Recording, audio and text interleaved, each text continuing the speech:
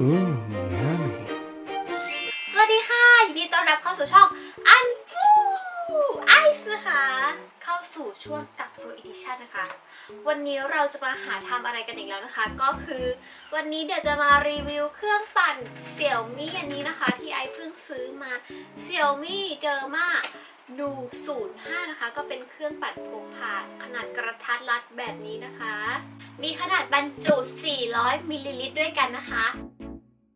ใบพัดเนี่ยจะมี 6 ใบพัดนะคะ เจ้าเครื่องนี้สามารถปั่นน้ำแข็งให้ละเอียดได้ภายใน 10 วินาทีนะคะ โดยมีรอบการปั่นเนี่ย 21,000 ครั้งต่อนาทีเลยทีเดียวสำหรับการชาร์จนะคะ เขาก็จะมีข้างหลังเป็นเป็นรูการชาร์จนี้นะคะ ใช้เวลาการชาร์จ เพื่อให้มันเต็มการใช้งานเนี่ย 3 ชั่วโมงด้วยกันนะคะ แล้วก็สามารถปั่นได้ประมาณ 6 แก้วนะคะ แบบถึงจะหมดค่ะ เวลาเราเปิดมันจะมีสีแดงกระพริบแบบนี้ เขาก็จะมาพร้อมกับฝาปิดนะคะ พอเราปั่น พอเราปั่นเสร็จปุ๊บก็จะมีอันนี้สามารถพกพาไปกินได้ แล้วก็มีรูให้ใส่หลอดตรงนี้ด้วยนะอันนี้คือสายที่เขาให้มาซึ่งไอคิดว่ามันแบบค่อนข้างสั้นไปหน่อยนะ พอสมมติเต้าเสียบที่ผนังบ้านเราเต้าเสียบที่ผนังบ้านเราอยู่ที่พื้นอย่างเงี้ย พอเสียบปุ๊บคือวางวางตรงวางตรงไหนไม่ได้คือต้องวางบนพื้นอ๋อแล้วก็จะมีอันนี้เป็นแปรงทำความสะอาดซึ่งแบบว่า ไม่รู้ว่า practical หรือเปล่าแปลกๆเล็ก ๆ ไปหน่อยนะคะ ซึ่งค่อนข้างล้างยากนะคะก็คือต้องตรงหัวปั่นเนี่ยก็ต้อง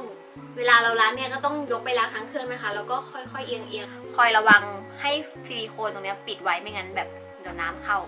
เมนูที่เราจะมารีวิวเจ้าเครื่องปั่นอันนี้นะคะ ก็คือ Acai Bowl หรือว่า smoothie bowl ที่แบบว่าเขาขายกันแพงมากๆ ชามละ 200 300 นะคะ เดี๋ยวเราจะมาลองทำเองนะคะ อันนี้เป็นสตรอเบอรี่กับกล้วยหั่นที่ไอซ์ freeze แช่แข็งไว้ประมาณ 2 วันนะคะ เอาผลไม้เนี่ยใส่เข้าไปในถ้วยกัน ก็คือใส่มั่ว นี่ก็จะเต็มแล้วเนี่ย โอเคค่ะ ใส่สตรอเบอรี่ไปนะคะ จะเปลี่ยนสตรอเบอรี่เป็นผลไม้อื่นก็ได้ที่ให้สีสวยเช่นบลูเบอรี่อะไรอย่างเงี้ยนะคะ เพื่อให้มันสามารถปั่นได้โอเค ก็จะใส่โยเกิร์ตเข้าไปด้วยนะคะ ถ้าใครเป็นสาย healthy จะเปลี่ยนเป็นนมถั่วเหลืองก็ได้ พร้อมแล้วนะคะเรามาปิดฝา คือถ้าเราหมุนแล้วมันไม่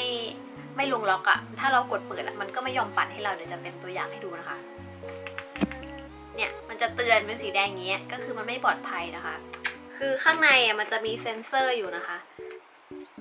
เฮ้ดังแล้ว การกดเปิดนะคะต้องกด 2 ทีเพื่อให้เปิดคือเป็นระบบป้องกันไม่ให้เราแบบ เผื่อกดครั้งเดียวแล้วมันปั่นกันแบบเซฟตี้ขย่าเขย่าอะแบบหมดหรือเปล่าข้าชาทั้งคืนเลยนะมันจะหมดได้ยังไง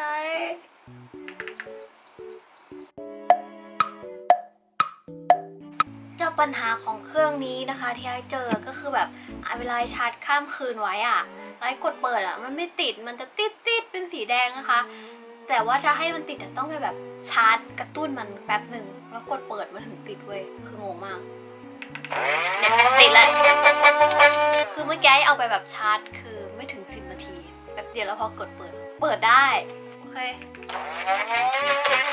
คือตามคำแนะนำอะเขาจะให้เอียงซ้ายขวาอย่างนี้ แต่ว่าพอดีอันนี้มันไม่ใช่เป็นน้ำสมูทตี้นะไอซ์ก็พยายามจะเขย่าให้มันโดนอย่างทั่วถึง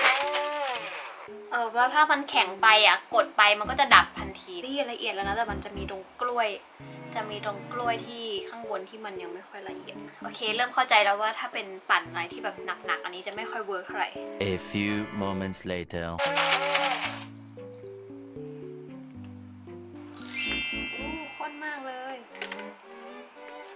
ละเอียดกว่าที่คิดมากโอเคนี่เดี๋ยวเราจะปั่นอีกครึ่งที่เหลือด้วย กล้วยที่ไอซ์เอามาปั่นมันค่อนข้างยังไม่หวานเท่าไหร่นะ มันเปรี้ยว A few minutes later. ๆโอเค เดี๋ยวเราจะมาตกแต่งใส่จานกาบมะพร้าวอันนี้กันนะคะ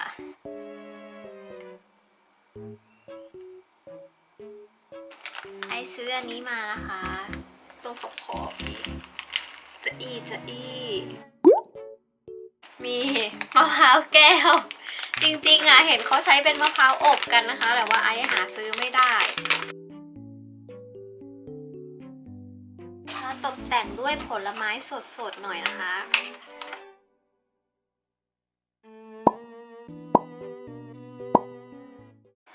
และนี่นะคะก็คืออาคายโบนะคะ จากเครื่องปั่น Xiaomi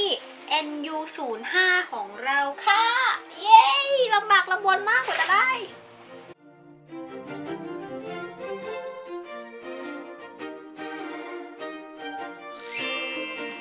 เสร็จแล้วนะคะเรามาชิมกันดีกว่า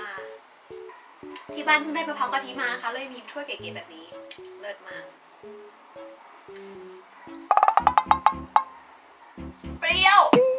ตัวสมูทตี้ที่เราทำอะรสค่อนข้างเปรี้ยวนะคะ แต่ว่าพอกินกับพวกธัญพืชที่มันเคลือบน้ำตาลมา เลยหวานขึ้นแบบเลยกำลังพอดีนะคะไอ้ที่ว่ารสจะเปรี้ยวหรือหวานเนี่ยก็ว่าค่อนข้างขึ้นอยู่กับผลไม้ที่เราเลือกใช้ด้วยถ้าเหมือน เราตอนนั้นเรา freeze กล้วยตอนที่มันแบบหวานแล้ว พอเราปั่นออกมามันก็จะหวานนะคะ หรือว่าสตรอเบอรี่ถ้ามันเปรี้ยวเนี่ยปั่นออกมามันก็จะเปรี้ยวนะคะเดี๋ยวมาชิมกับสตรอเบอรี่บ้าง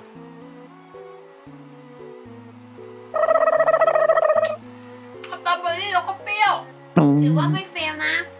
ถึงแม้ว่าตอนแรกเกือบจะพลาดตอนที่เปิดเครื่องนะคะ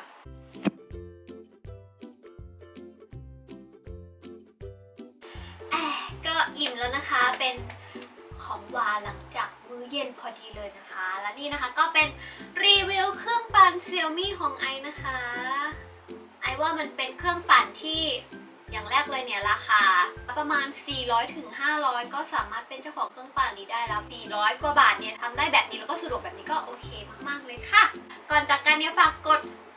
subscribe เป็นกำลังใจติดกระดิ่งให้ด้วยนะคะ แล้วก็ติดตามทางช่องทางอื่นได้นะคะ ไม่ว่าจะเป็นแฟนเพจนะคะ IG หรือว่าตอนนี้ก็มี TikTok ด้วยนะคะฝากติดตามกันได้นะคะ บ๊ายบายค่ะ